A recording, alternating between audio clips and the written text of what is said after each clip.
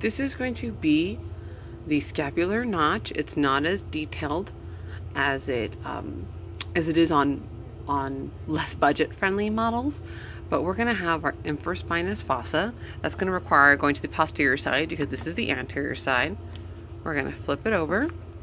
And so our infraspinous fossa is going to be this area right here.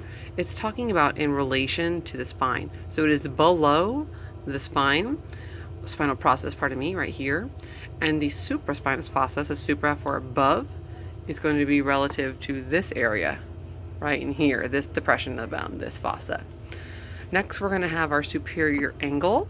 So we're going to flip back over to go to the anterior side to show you our superior angle. So on this anterior position, your superior angle is going to be this.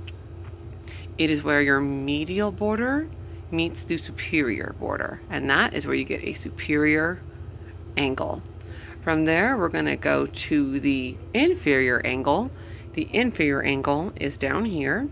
This is where the lateral border meets the medial border. So to zoom out, lateral border, medial border. The lateral border always has the glenoid cavity. So um, people kind of joke it's the armpit, but it's where your humerus is going to articulate. So the lateral, right, because your humerus is the most lateral.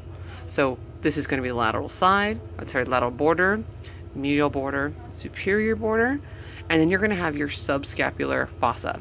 So we're going to go anterior, which we are, and this is going to be your subscapular fossa.